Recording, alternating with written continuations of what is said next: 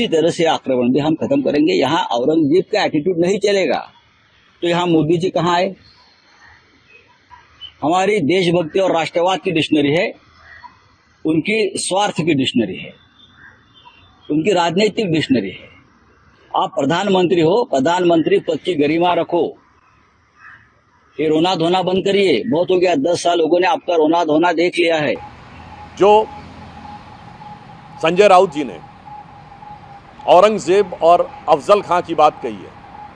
तो मैं पूछना चाहता हूँ, औरंगज़ेब की तरफ़ का कौन है, जिसने दिल्ली के लुटियन जोन में औरंगज़ेब के पूरे खानदान के नाम पर सड़कें रखी हैं? आप उसके साथ खड़े हैं।